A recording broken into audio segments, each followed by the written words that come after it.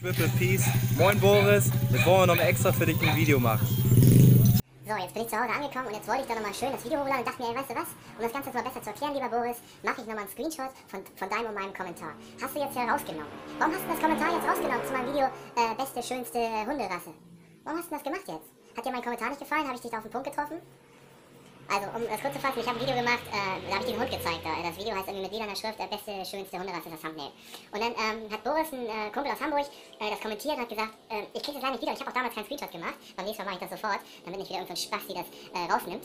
Und zwar hat er dann gesagt, ähm, Finde ich jetzt richtig scheiße von dir, dass du das äh, Video hochlädst. Äh, äh das, äh, deswegen habe ich dir auch ein Dislike äh, gegeben. Äh, irgendwie, keine Ahnung, ob er jetzt noch geschrieben hat, schäm dich oder irgendwas, weiß ich auch nicht. So, habe ich geantwortet, ja Boris, so ist die Welt. In Deutschland ist halt alles ein bisschen anders. In Deutschland ist alles ein bisschen anders. Und in vielen Ländern dieser Welt ist es halt nicht so.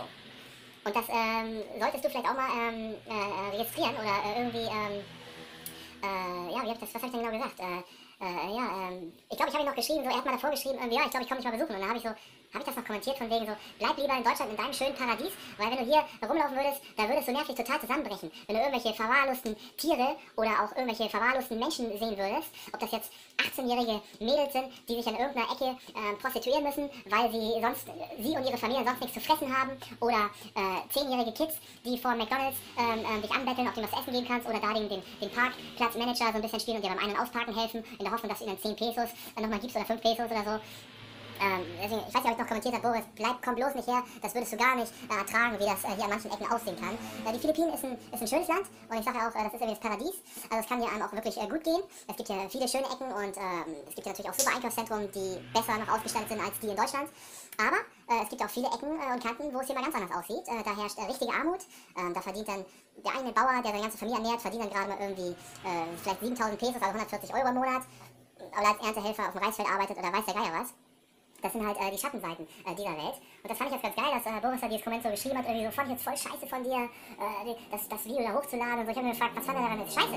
Dass ich, dass ich die Realität ihm jetzt vor Augen halte, dass ich das schöne, äh, schöne Deutschland äh, halt nicht überall so ist, sondern in Deutschland nur so ein kleiner Punkt wie mein Fingernagel. Und das, meine, mein Kopf ist jetzt die Welt.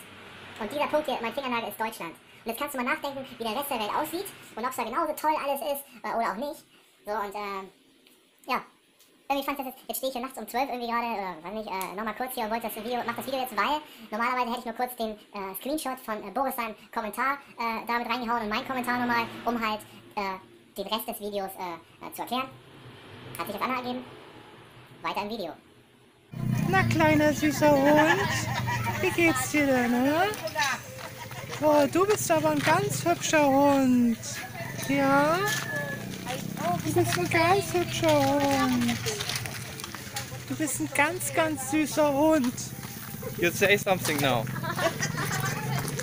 Oh, Joe! You, you, hey Joe, you say something now. Ate guto Marco. Yummy, yummy. Oh, Boris, ist das nicht ein süßer Hund? Hm? Ja? Kleiner süßer Hund. Cutie dog.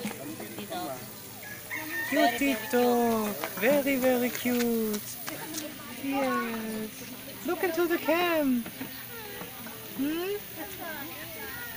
Hm. Und du guckst nicht so da hinten, dein Bursch. Hier sind ganz viele Hunde. Ich weiß gar nicht, wem die alle gehören. Da hinten siehst du auch nochmal zwei. Ne, da siehst du gerade keinen. Da siehst du auch noch einen Hund.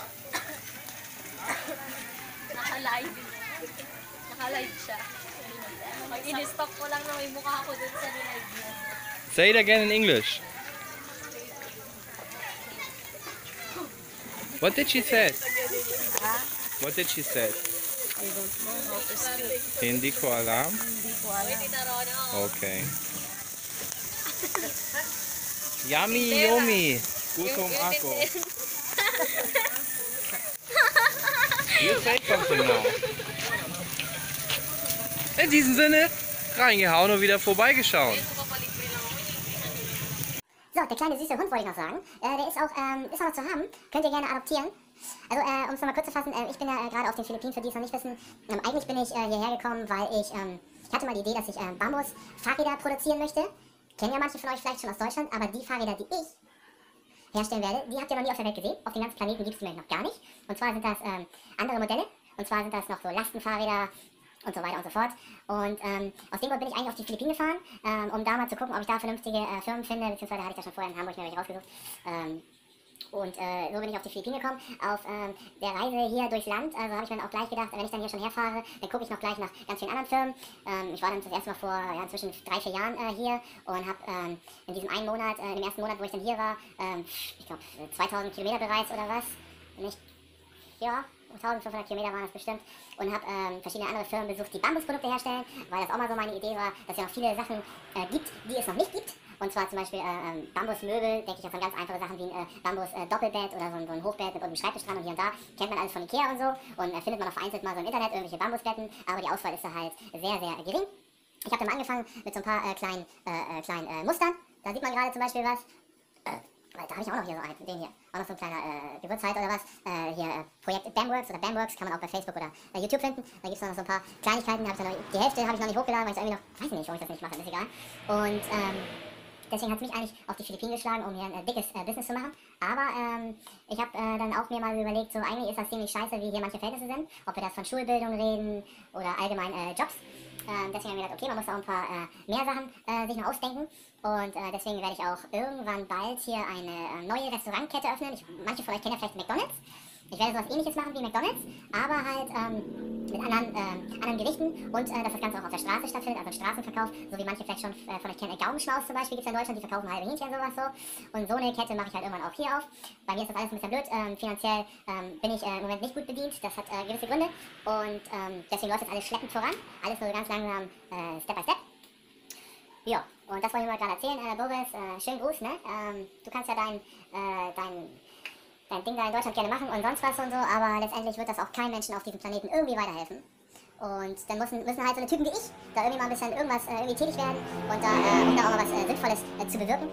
Und ähm, ja, deswegen ähm, Könnt ihr da gerne mal reingucken. Im Moment gibt es ja noch ein bisschen was, bisschen viel von meinem Privatleben so, äh, zu sehen. Ich habe jetzt auch äh, schon, ähm, auch jetzt in den letzten Monaten oder Wochen, ähm, wieder ein paar Firmen besucht und so, wo ich schon mal war und so. Und da wollte ich das immer nicht so filmen. Also ein paar Fotos kann man da auf Instagram sehen, wenn man das mal genau durchstöbert und mal so nachdenkt, was das eigentlich da auf den Bildern zeigt. Da sieht man manchmal so ganz viele Ratternmöbel und so ein Quatsch oder irgendwelche Bambus-Vogelhäuser und so. Und das sind halt äh, die Firmen, äh, mit denen ich in Kontakt getreten bin, wo ich dann teilweise auch mal ein, zwei Tage verbracht habe und dann zusammen in der Produktion mit den Jungs da äh, was entwickelt habe, was man irgendwann bald in Zukunft dann sehen kann. Bis jetzt gibt es immer nur so Prototypen und äh, irgendwann, dafür muss ich noch so ein paar Dinge regeln, äh, wird halt auf einen Schlag, dann äh, gehe ich zu den Jungs zurück und sage so, jetzt machen wir weiter und dann wird da in Masse produziert, dann wird eine kleine Stückzahl gefertigt, die kommt dann nach Deutschland und dann geht es halt richtig los.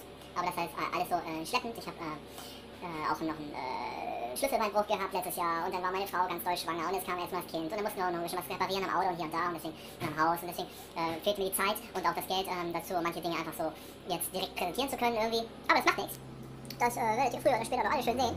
Und in diesem Sinne, äh, dann einfach mal äh, wieder reingeschaut. Oder auch nicht. Spielst du lieber Computer den ganzen Tag und, und denkst an gar nichts anderes, außer dass es euch in Deutschland gut geht. Und dann ähm, ist das für mich auch in Ordnung, solange ihr ab und zu mal in den Laden geht und irgendwelche, irgendwelche lustigen Sachen kauft, wie zum Beispiel ein, ein Gewürzhalter aus Bambus.